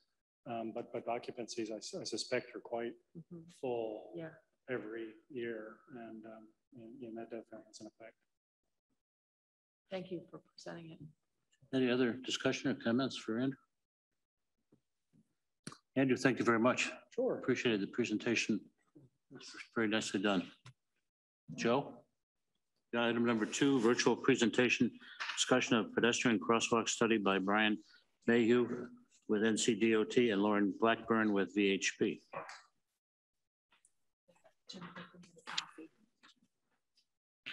Well, uh, good afternoon. I'm Brian Mayhew. Can you guys hear me okay? Yes, we can. Okay, great. So um, I'm joining you guys from, from Raleigh today and appreciate the opportunity to share the results of, of our review. Um, I'm the state traffic safety engineer with NCDOT and I manage several uh, safety programs for the department. Um, of course, one of our focus areas is pedestrian safety and, and after talking some with the town and Division One, we agreed to, to do a review um, of your your town, and we reviewed NC 12 throughout the uh, the full length of your town, of course, with a lot of focus in in the village area. And Lauren Blackburn uh, worked with me on this uh, study. She's from VHB as well, so this was kind of a separate effort than the information that you just received, but it was coordinated with that as well. So, um, but it was um, it, it was it you know it was a, a uh, we were able to visit in mid-August. Um, the uh, the primary focus was pedestrian safety. So while we acknowledge the capacity issues and the challenges with the traffic, the, the review focused on pedestrian safety, especially looking at those interactions between pedestrians, cyclists, and vehicles uh, during those peak hours and um, at all the crosswalk uh, locations we did review every crosswalk location and we did look at the the driveway um, areas and, and all between the crosswalks as well. So um, with that, we're going to go through, I'll, I'll, mention a few general findings. And then after that, Lauren uh, will introduce herself and she will go through uh, in a good bit more detail of um, some of what our observations were. But like we've already talked about and, and Andrew shared, pedestrian activity is, is very steady and very high. Um, I have done work all across the state uh, on pedestrian safety and you know some of the volumes that we uh, observed and, and measured um, are quite high. So that's that's to, to say a lot to your town. Um, you've put in the infrastructure, you've put in uh, places that people want to walk to and and they and you know they they are um, i think the multi-use path might be something that's um, um, might you know I, I, know it was mentioned the changes between 1995 and now that multi-use path is is an attractor right it is it is something that definitely really helps as a conduit of, of people north and south through town and then allows them to cross the street wherever wherever they need to. So um, and, and again with some of our general findings i will say that overall yielding pedestrian yielding is a challenge. We face this challenge all over the state but in your town uh, pedestrian yielding yielding between vehicles and pedestrians at crosswalks is very very high and that corresponds to having um, uh, safety. And that helps pedestrians feel comfortable. And that probably helps them um, make that decision on whether to drive somewhere and walk somewhere as well. So congratulations, that's good. Um, I think the, the congestion that you're experiencing, um, you know, it's uncomfortable uh, without a doubt. Um, it does serve to moderate speed. Um, speeds are fairly low during most most times of the day and you know that also helps with pedestrian safety and it helps those drivers make that decision on on yielding to pedestrians as well um, as already mentioned by andrew you know the congestion definitely uh, minor disruptions can have a big impact when you have volumes that high uh, a lot of turning vehicles in and out of the businesses uh, pedestrians crossing uh, cyclists as well um, you know turning movements at, at those intersections all those um, were noticed to create um, my, you know, um, minor disruption, uh, you know, disruptions, but but significant because of the queuing. Um, we definitely witnessed, as Andrew pointed out as well, that um, you know the vehicles were allowing gaps for drivers to turn in and out of driveways and side streets as as well, and so the the general yielding nature of kind of taking turns, whether it's pedestrians or other vehicles, was definitely definitely present. Eh, you know, crosswalks um, uh, are spaced about every 380 to 420 feet throughout your your village, and uh, that seems to be working. Um, we don't think that any should be removed because the demand is so high. And if you remove those crosswalks, then more than likely you're going to start introducing pedestrian activity um, in places where you don't have crosswalks. They're going to start crossing um, outside of those, you know, those zones, and and um, it's still going to cause yielding, but it's perhaps le less safe. So there's some visibility challenges because of the the some of the conflicts between how vehicles position themselves to turn into some of the businesses that can shield a pedestrian crosswalk. And the reason that might be an issue is one safety, but but in this case, it can cause um, a sudden stop by a vehicle uh, because they they didn't see the ped and then suddenly they do and so they they're dri driving at a slow enough speed where they're able to stop but that sudden stop can also cause a, more significant disruption in in your traffic flow so we did observe that and some of our recommendations will make a few comments um, about that as the things that that may um, may could be done or at least considered so with that, I'm going to let Lauren introduce herself and, uh, and then go through in a little bit more detail. Good afternoon. Um, can you all see the screen okay? I'm assuming you can because uh, Brian was able to talk through it. Good, great. Um, Lauren Blackburn, also with VHB. And uh, as Brian mentioned, this was a, a parallel but separate review process. We didn't uh, use data as much as what Andrew had shared, but what we really relied on was those observations that we made in the field. And, and we did look at some of the data just to confirm that, you know, the, the patterns that we were assessing were consistent with what uh, the data was, was demonstrating. Um, I'm also in Raleigh and um, I'm a planner by training. So um, glad to be with you guys. And as Brian mentioned, I'm gonna go location by location. They are many of the same locations that Andrew went through, but then we have many additional locations because we, we looked at each of the crosswalks and a few other locations uh, where pedestrian crossings were either potential or likely.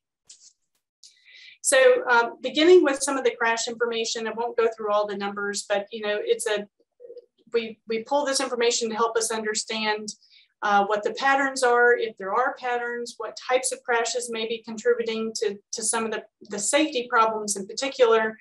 And uh, as many people have noted already, you have um, you know substantial pedestrian and bicycle traffic in, in Duck. And with that is the exposure, there's the more likelihood for crashes. So there are a number of pedestrian and bicycle crashes. Uh, we looked at each of those just to understand if there were some consistent crash types that were contributing. Um, nothing really standing out for the bike and ped crash types per se, uh, but there was certainly a relationship between those pedestrian crashes and when rear end crashes for vehicles were occurring at the crosswalk. So that really kind of supports what Brian just said is that there may be some relationship between uh, a vehicle approaching from behind another vehicle that's yielding to a pedestrian in the crosswalk, suddenly coming to a stop because they didn't see the pedestrian. So there's maybe things that we can do better to improve visibility at the crosswalk and of the pedestrian in advance of that approach. Um, geographically, where the crashes have occurred, you know, they are they are distributed widely across the entirety of Duck, but mostly in the village um, part of the community. Um, bicycle crashes were predominantly at intersections like Scarborough and Christopher. That's that's very consistent with what we see in other parts of the state. That bicycle crashes more often happen at intersections where vehicles are interacting with the bicycle movements more so, but pedestrian crashes are occurring along the length of it. So nothing really um, standing out there in the way of clusters of, of pedestrian crashes per se, but definitely where there are some of those turning movements. So uh, because the, the community is, is, is very long, physically speaking, uh, we broke it up into three sections. So um, we've got a section that is essentially north of the village section B, which is essentially the, the core of the village, and then section C, which is um, south of the village. So I'm gonna go through each of these starting from north and then moving my way south. And I'll just work intersection or crosswalk by crosswalk. I'll go through a lot of these pretty quickly, you know, just um, uh, let me know if you wanna want me to pause and explain anything further. So starting from the north, uh, we looked at the, the crosswalks near the Sanderling Resort, as well as those crosswalks that are south of, of and approaching the village. Um, and then we've looked at some of the, you know, in, along the way, of course, there are other intersections where there are not marked crosswalks, uh, just trying to make some determination if there may be some need for additional crosswalks. Essentially, we have not, uh, we're not recommending any additional crosswalks in this section of the village, but rather we're really looking at ways to enhance uh, the visibility at those existing marked crosswalks, and especially as folks are commuting or coming towards the um, crosswalks on the north from Corolla, um, just to, to, increase that expectation. Um, as you all know, the speeds along this section vary based especially on season. And, and that plays into some of our recommendations about what would be the, the appropriate treatment for a crosswalk based on some of those expected speeds. But, you know, as everybody has really been mentioning today, that speeds for the most part, especially in the village, are, are, um, are managed or are um, being, you know, re relegated to an extent because of the traffic congestion. Um, we we looked at, at issues along the roadway. We didn't pay uh, as much attention to the side path crossings or the condition of the side path. Uh, we really focused very much on the crosswalks, but a few, uh, a few comments on some of the, um, you know, conditions of the side path, um, especially on the northern section. You know, one minor thing that we noticed is that the some portions of the pathway um, the, the material changes. You all know this. So a lot of this probably has to go back to some of the sections you needed to replace for different reasons. It can create um, an uncomfortable riding experience for cyclists in particular. And so there were a couple occasions where we observed a cyclist choosing to, to get off the pathway where either the, the physical condition maybe was a little rougher or the, the path was narrowed and they, they definitely seemed to know what they were doing. They would, you know, exit the pathway fairly quickly, then rejoin it. So that can create a safety problem for cyclists, but, you know, for the most part, we saw people doing that only when they really knew what was ahead. So it seemed to be for that more local um, cyclist. So approaching from the north, um, the two crosswalks at the resort. Um, that both of those crosswalks have been there for um, some time and you know they each have the LED lighting in, embedded within that. Um, a couple things that we've we've noticed or recommended is that the, the signs themselves could be replaced with more reflective signage, um, especially because you're coming into this area rather, you know, suddenly after having gone through the section between this and Corolla. And also for that same reason, um, it may be a good idea to install a sign in advance of this section coming from the north. And then you'll see later a recommendation um, to, to do the same thing, essentially approaching from the south to give the driver an, a heads up that in, you know, in a certain amount of distance, maybe a couple hundred feet in advance of those crosswalks, that they should expect pedestrian activity for the next mile or so. So that's just a, a general recommendation with some signage and then the other thing that you'll hear me mention many times today is where there is no overhead lighting at a marked crosswalk, that um, that should be installed at those marked crosswalks. So that, that applies to these crosswalks north of the village as well as to a couple crosswalks south of the village. There are um, four locations south of Sanderling, but before you get into the village where there are crosswalks um, at uh, Royal Tern, Ruddy Duck, Gannett, and Quail Way. Um, those signs are also um, in older warning signs probably need to be replaced so that they're more reflective, need overhead lighting. And then also coming from the south, just like what I mentioned for the um, northern approach to Sanderling, installing a sign a couple hundred feet in advance of that um, southernmost crossing to, to indicate that the driver should expect pedestrian crossings for approximately the next 1.2 miles. So that would be closest to that paper canoe um, establishment. So if you can kind of imagine, we're essentially recommending that this be established as a pedestrian zone, um, just to enhance some of that awareness on the driver's part. But no additional crosswalks at this point are being recommended. All right, um, for the section in the middle, the village, um, we looked at each of the crosswalks and a couple other locations just uh, because of some of the expected pedestrian activity. Um, I'll go again through those starting from the north and working our way south. Um, this is the slower speed posted um, section of the community, as you all know. Um, there are side path and on both sides or sidewalk on both sides for most of it, but there's also some gaps in the infrastructure. But we've we've since learned from talking with the town staff and others that you all are working on that. You're working on extending some of that network um, to really complete that as much as possible on both sides. So that's that's really good, news. good news because that's going to help um, uh, improve the um, extent to which pedestrians are willing to cross at the places where you want them to.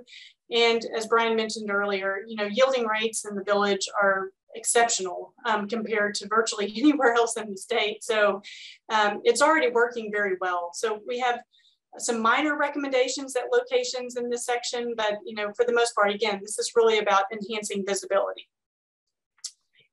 Um, at the first one, moving um, south, this is at the Sunset Grill location. So I'm sure you all familiar. There's a refuge island um, the refuge island serves multiple purposes. Um, it helps um, indicate to the driver that they're in, you're entering a space where they should be slowing down. Um, that's more consistent with the reduced speed limit. Um, the bicycle uh, network changes at the same location. It transitions uh, from that, what we call a buffered bike lane into that um, the, the shoulder space for bike lanes, as well as having that wider path, which begins at that point moving north. Um, there is overhead lighting at this crosswalk. And, um, you know, I think especially when the network is built on the sound side of, of this section, that's going to make this crosswalk even more prominent.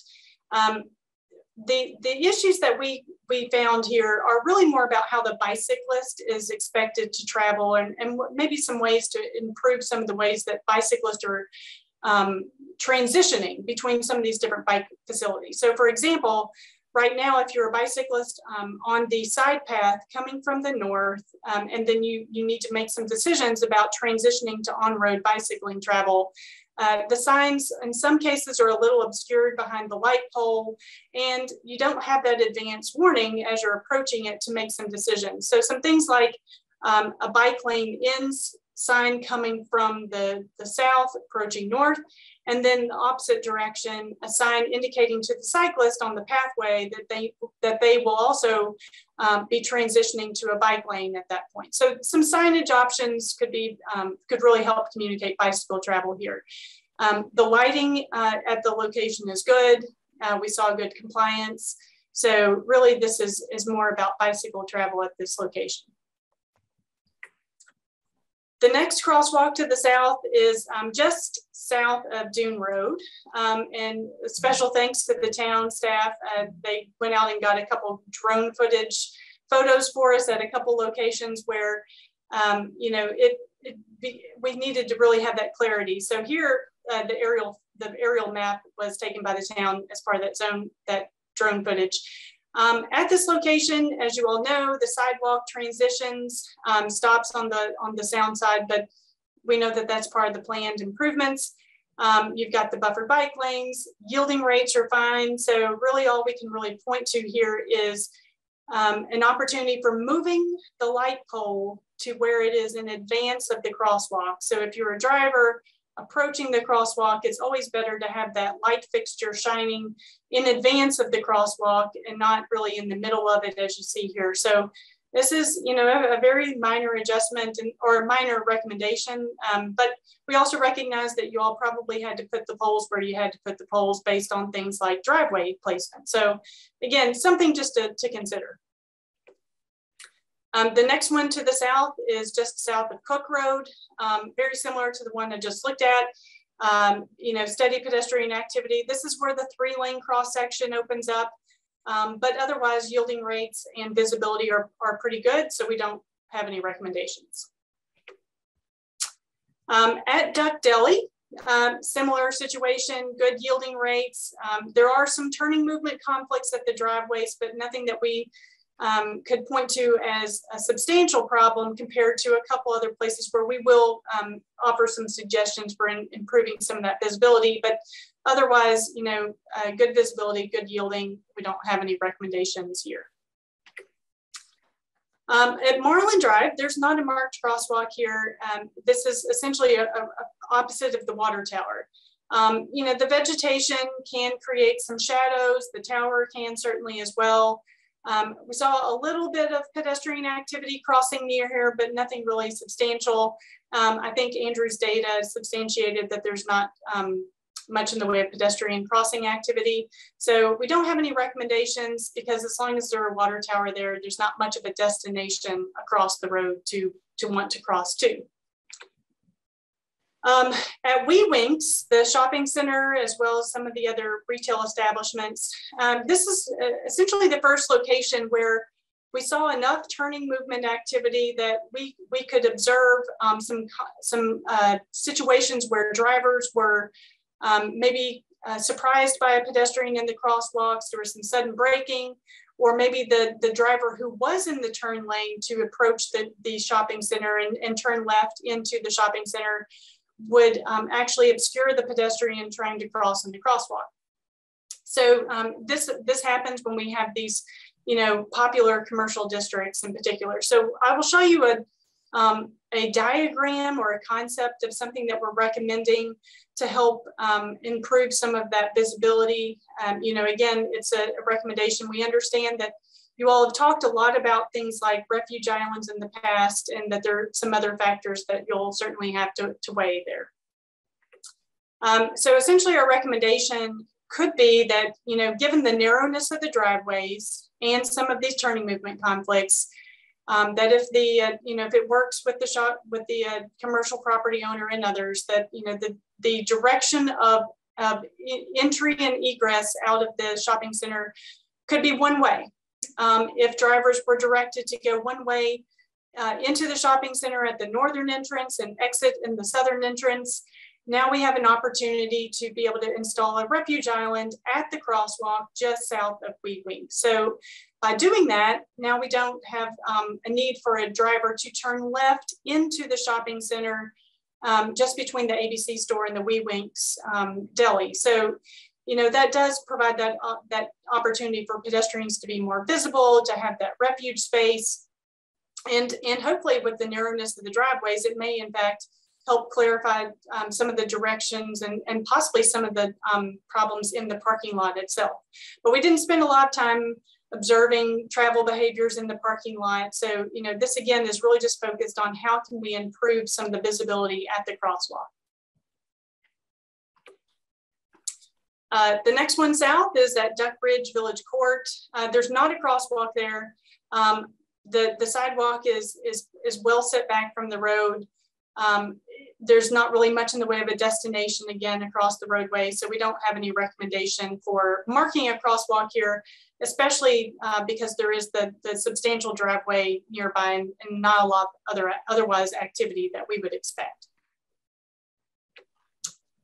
Um, south of Schooner Ridge, uh, the, the crosswalk is, we're, we're in the, the core part of the village where pedestrian activity is um, substantial and, and very heavy. So uh, because of that, just regular flow of pedestrian crossing activity, we saw very acceptable pedestrian um, yielding to pedestrians. Um, the visibility is good. It's in a, a, good part of the roadway. So no, no findings or recommendations to, to um, push here. Um, at the, the crosswalk um, at Town Hall, the one north, the northern more uh, crosswalk, um, the, the crosswalk is in the curve, um, you know, and, and given what Brian was mentioning earlier about the, you know, more or less kind of regular spacing, um, anytime you have a curve like this, it's going to be hard to find a perfect space to be able to mark that crosswalk. But, um, you know, the crosswalk being in the curve, again, having heavy bike and ped traffic, those turning vehicles in that center turn lane are, again, just uh, similar to what the other situation I was just explaining they, they can shield the pedestrian trying to cross, um, you know, especially if they're trying to enter the, the hardware store parking um, center. And, and again, you know, if, the, somebody is um, suddenly stopping for a pedestrian, they, they might break very quickly, it can create some, uh, some quick responses, possibly even some rear end crashes. So uh, this is a recommendation where we will we'll, we'll suggest that you could consider removing the crosswalk uh, north of the bank driveway. I'll show you a, an illustration in just a minute. And then, you know, consider installing a refuge island. So the white line is uh, essentially where the crosswalk is today. Um, you could uh, move the crosswalk just north of that exit out of the bank um, parking lot and install a refuge island basically the same concept as I was reviewing earlier. You know, we don't have a need for incoming left turns into the bank parking lot at that exit. Um, so that's an opportunity for the refuge island, especially in this curve. So, you know, we're, we're a little bit, uh, we've moved a little bit further out the, the, out of the curve, but, you know, again, there's still going to be some sight distance concerns. Um, and, you know, it, but it is a place that could hopefully still serve um, where people are ultimately trying to go. Um, at Duck Landing Lane, um, the Mark Crosswalk, good yielding rates, moderate activity, you know, it's in a good spot from a visibility standpoint. Didn't really see as much in the way of turning movement conflicts, so uh, no recommendations there. Um, the southernmost crosswalk to Town Hall, just north of Potaskeet, um, similar as a lot of other locations, the visibility is good um, moderate activity, and you know, with the, the infrastructure, we think that there's not really much else you could do there. So at Christopher Drive, um, you know, given the, the volume of um, the, well, the, the sheer amount of commercial activity there, uh, we were looking for, in particular, to see if there were, you know, a lot of left turn movements in and out of that um, at Christopher Drive um, to see if there is enough to really kind of begin asking the question, should it be controlled? Should it be signalized? Um, a recommendation could be to explore that idea, but we're not recommending to signalize it based on any particular warrants or anything like that. Um, but it is a place where, given the, the volumes of pedestrian activity, um, the, the conflicts and so forth, that it, it could be something that could be considered. But again, that's just really based on the pedestrian um, activity and not really based on any of those traffic um, findings that, that Andrew had shared. Um, so one other thing that could be um, considered here is that in lieu of a controlled crossing, you could um, stripe in um, essentially what is a painted median I'll show you an example at another location in just a minute of what I'm talking about. But, you know, just one other way of reinforcing that you want to try to, you know, maintain that space for pedestrians and not for vehicles to uh, queue up for turns within a certain space. So anyways, a fairly low cost um, op option there. Um, at the Farmer's Daughter Scarborough Shops crosswalk, um, we noticed a handful of things that um, need to be just basically considered kind of moving forward. Um, with the uh, the left turning vehicle traffic, you know, similar to the other sites I mentioned, um, they can view the uh, block the view of the pedestrians when other drivers are approaching from behind. This was the one of the heaviest pedestrian crossing activity sites. I think it may have been the heaviest crossing location based on the data that Andrew was sharing. Um, and you know, because of all of that, it, it's certainly a place to just continue monitoring and, and consider some recommendations for it. Um, again, could be a place where you could stripe in a painted median, not a raised one per se, but something that just really reinforce um, a space where you you want to um, keep drivers, you know, out of the crossing space in particular. Could move the light poles. Um, uh, they're not exactly where we would prefer that they be. They, you know, better to have them in advance of the crosswalk. But again, you know, just looking at the site by site locations.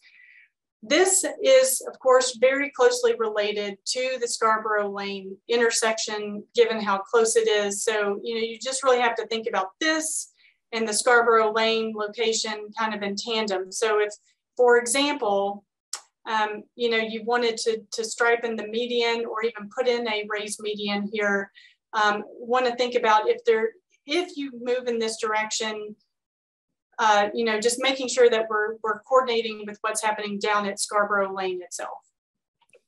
Okay, so at Scarborough Lane, there's not a crosswalk currently, um, and there's not a a ramp that is directing the uh, pedestrians to cross at Scarborough Lane.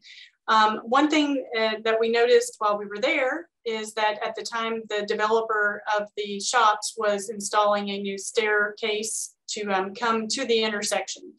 Um, the, the sidewalk, I believe, since then that he that they've constructed um, takes folks just basically like what you see here. It doesn't create a curb ramp that then crosses um, NC 12, but it would be a place that we would recommend that you continue to monitor because if, if there is increased pedestrian activity to access the shops to that stair, staircase, we might begin to notice more pedestrian activity crossing at the intersection where there's not a marked crosswalk.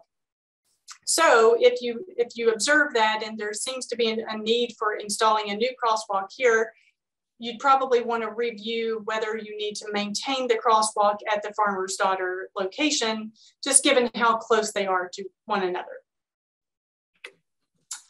Um, and then just to the south of that at the Aqua Restaurant, um, this is very similar to what we have at the northern end of the village uh, where you start to see some of the transitions between the shared use path and the um, in-road bike lanes. Um, the signage, again, could be clarified to help uh, the bicyclist approaching to understand in advance about some of those transitions. Um, we understood that there may be some considerations about, um, I think it's, uh, I can't remember the full name of the cottage, but there's a property, I think that's for sale um, you know, if, if those are all things that are in, in movement or there's some consideration there, um, you know, that, that may provide some opportunities for improving any crosswalks um, at this location. This, like some of the other places, you know, you could consider installing a median or a refuge island um, for those bicycle transitions like you have on the northern end with some of the appropriate signage to indicate that. So here's just an illustration of, of conceptually how that could play out. Essentially just putting in the refuge island and then, you know, indicating with that advanced signage at the aqua location. Okay, and then the other, the, the island that's already installed um, at the, the southern uh, entrance to the village, um, you know, it's not a marked crosswalk, it's not intended as a crossing. We didn't notice any pedestrian safety problems there. Um, this is also a transition between three and two lane uh, cross section. It, this feedback sign, the, the, uh, the raised island essentially serves in a traffic calming perspective or capacity, and it seems to work. So um, in fact, we've, we've taken pictures of this and are thinking of this as an example that we can share with other parts of the state. All right, last section. Um, so this is south of the village. And while there are a, um, there is a marked crosswalk, what we were doing here is trying to be consistent with some of the, um, you know, decisions or the other marked crosswalks, especially in the northern end of the village. Um, so we looked at, you know, any situation where they're like Seahawk or Tuckahoe or Bias or Charles Jenkins, where the roadway um, connects on both sides. So not, we didn't look um, in depth at any of the T intersections or um, a roadway like um, Seabreeze where it, it does not connect across the roadway, but rather where are there these kind of natural connections across the roadway. Um, so I'll go through each of these again, and um, you know we've got a couple recommendations here as well. So starting, you know, again with this being that 35 mile per hour posted speed, you know, this, the speeds are picking up. They're transitioning. The multi-use path on the east side um, works well for where people seem to want to go, especially if they're trying to access the, the um, any destinations along the east side of the roadway. Um, however, you know, there's not much in the way of connectivity on the west side or the sound side of the, of the roadway. And in a couple places, especially near Charles Jenkins, you know, that could help improve um, options for people to be able to go up to a marked crosswalk and, and then cross there. Um, you know, it's not the, the most developed part of Duck, but we, we certainly observed um, uh, opportunities for people to cross. And I think Andrew's um, data uh, showed good good crossing activity, especially at, at the marked Crosswalk and other locations. Um, so at Tuckahoe, there is a marked crosswalk. Um, it's, it does, it has the advanced, or it has the warning sign, um, but there's no other controls um, and there's no overhead lighting. So this is really similar to some of the situations um, near the Sanderling, uh, where we would recommend installing overhead lighting. Uh, the sign uh, is fairly recent, so it seems still to have that reflective quality, but uh, again, you know, this is just something to, to help improve basic um, visibility. Um, Charles Jenkins doesn't have a marked crosswalk, and it's, um, at least from our vantage point, has a lot of similarities to, to Tuckahoe. So, um, you know, thinking back and forth between it and a lot of other similar locations, uh, it, it, seems like it would be a good place to consider marking a new crosswalk, um, installing the lighting, the warning sign, and in order to facilitate for someone, say, uh, leaving a home near Jay Crest, to be able to have some kind of walkway parallel to the to the road um, on the west side or the sound side to get them up to the crosswalk. Um, in, in some of those those sections would would make a lot of sense. So having short sections of walkway to get folks up to the crosswalk um, where new crossings, because this is a fairly long stretch uh, with Tuckahoe having the only marked crosswalk. So that's all of the crosswalks across NC 12.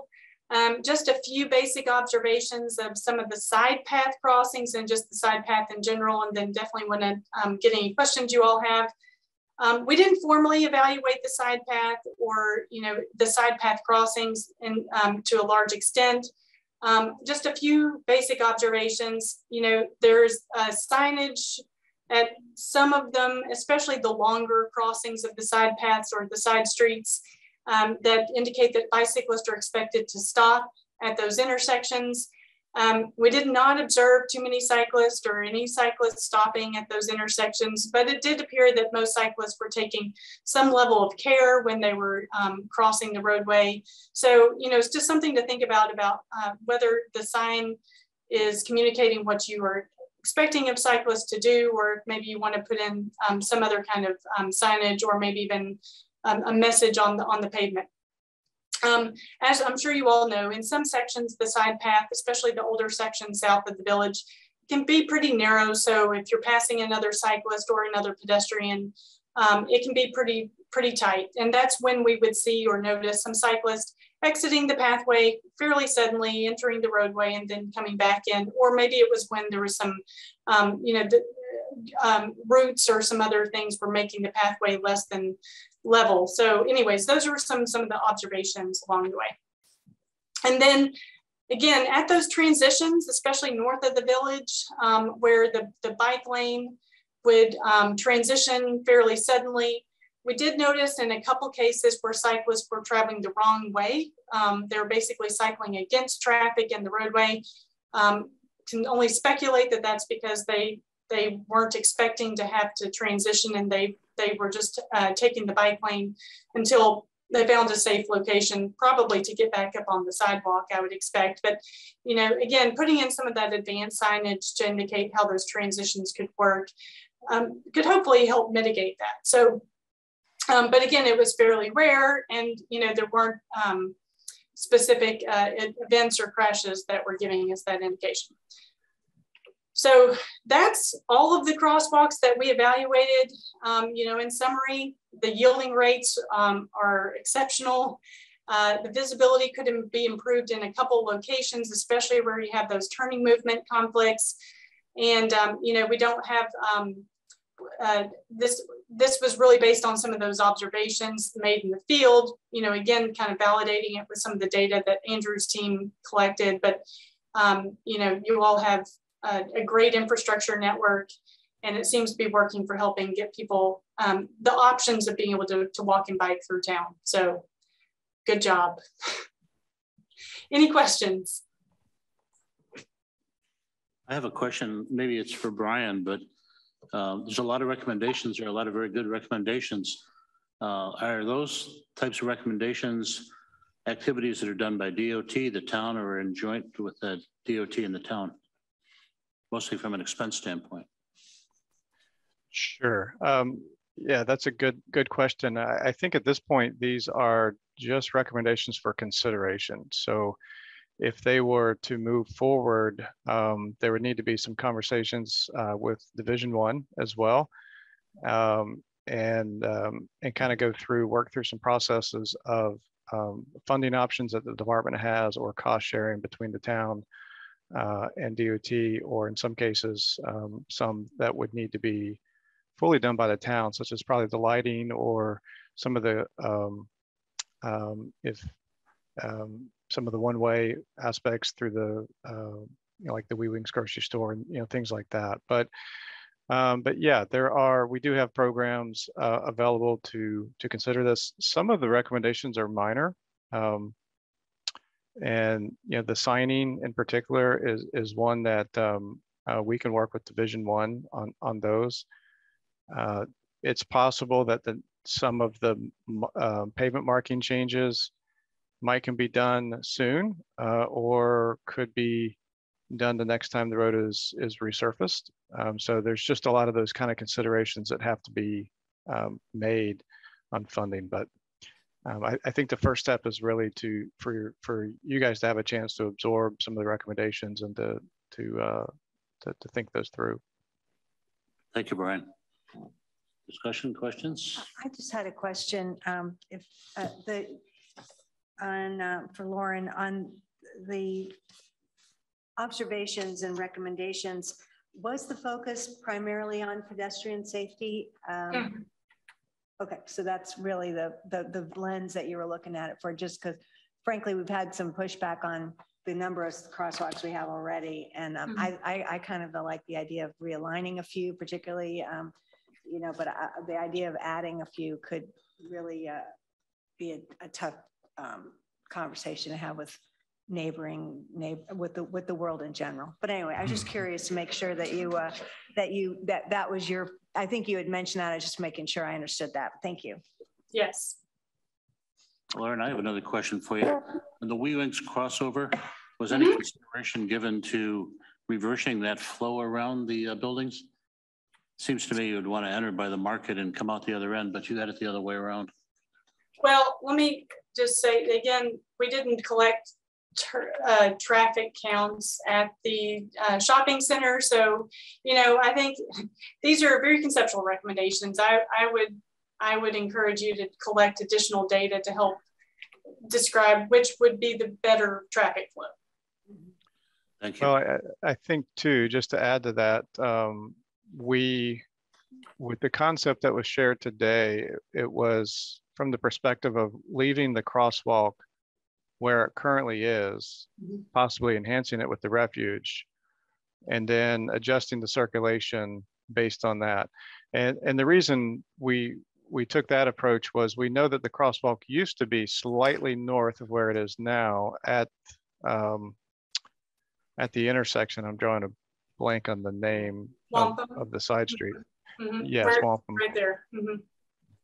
And so that, um, you know, and I, I we, we really, we got some feedback from, from the town that, you know, it had been, the, the crosswalk had been moved from that location because of concerns about conflicts with, with turning vehicles. And, and so that was, but it, it could go either way. You could adjust the flow uh, to one way uh, through, uh, through, through the wee winks, you know, in either direction. Um, but that decision would also involve um, you know, the relocation of the crosswalk. Mhm. Thanks, Brian. These additional calming islands, were they just painted ones or were they raised islands? Um, for the most part, they would be raised islands, or that's what we've been recommending. But there's been a couple spots in here where uh, that wouldn't you wouldn't necessarily have to go to that extent. It could be a painted island. But any of these locations where we're really focusing on some of those turning movement conflicts, you need that raised island to reinforce it.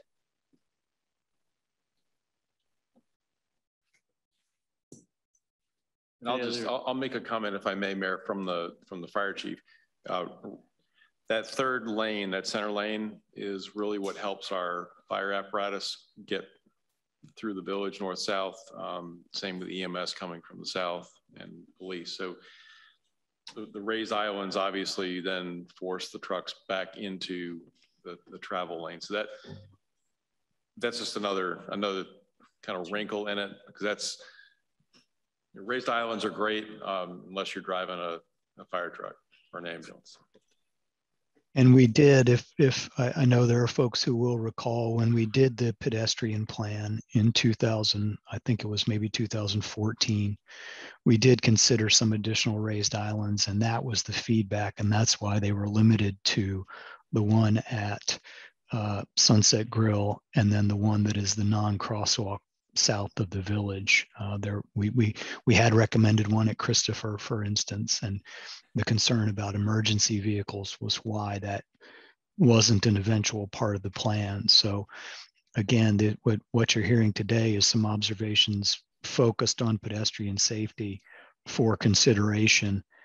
And as Lauren's saying, if, if you're considering that, uh, you know, for those reasons, a raised island is probably a good idea.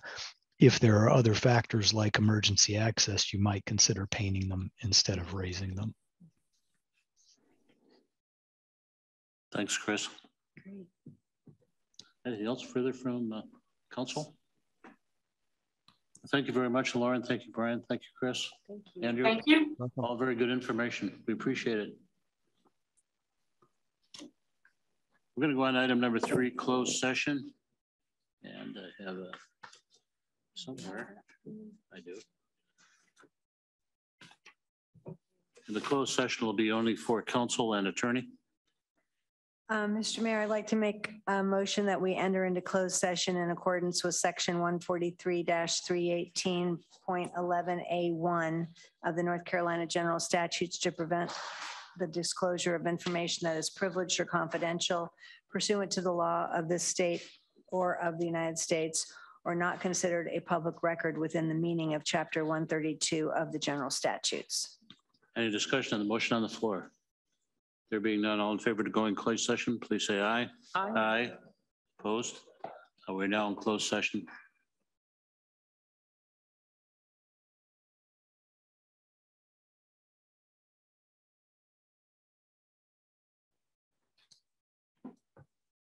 We were out of uh, closed session. I'd like to ask uh, Attorney Robert Hobbs if he would report uh, the closed session.